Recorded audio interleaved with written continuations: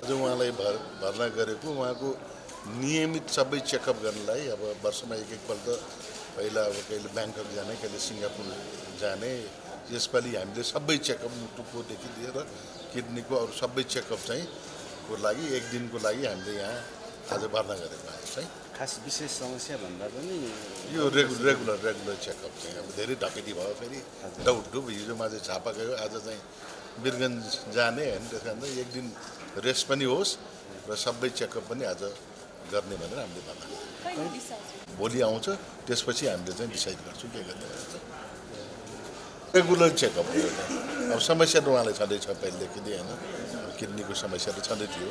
तर यो चाहिँ अब सबै चेकअप गर्नु पऱ्यो अब तिन चार महिना भयो पहिले यहाँ भर्ना भएको होइन? त्यसपछि हामीले डिटेल चेकअप चेकअप गरेको थिएन। त्यस कारण चाहिँ अब सबै अहिले चाहिँ के के को टेस्ट?